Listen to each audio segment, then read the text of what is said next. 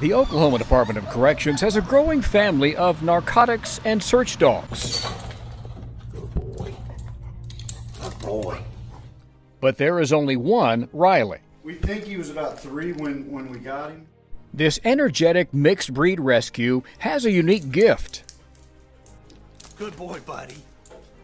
Certified with the National Police Canine Association, Riley is trained to hit on 22 distinct odors emitted from cell phones.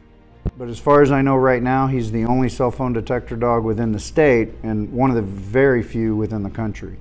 Since 2011, nearly 50,000 cell phones have been confiscated from Oklahoma prisons.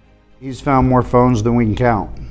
Riley is personally responsible for hundreds of seizures. Good boy. In the inmate wallet, that they have been found there. Uh, we found them anywhere from backpacks full of cell phones to uh, wall safes, um, book safes, in mattresses and pillows.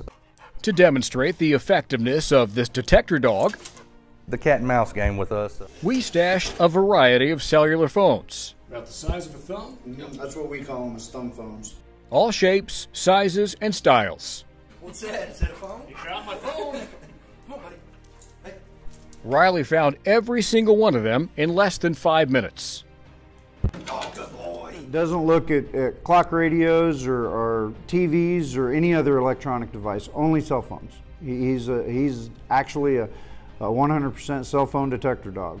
Three years now with the Oklahoma Department of Corrections, and Riley has earned quite a reputation among the inmates. They're not a fan of it. they're just just like with any of our other NARC dogs that we use. They're, they're not a fan of it. It's really unexpected at first. You go in there and you're working this dog, and you look up and you see an article about him.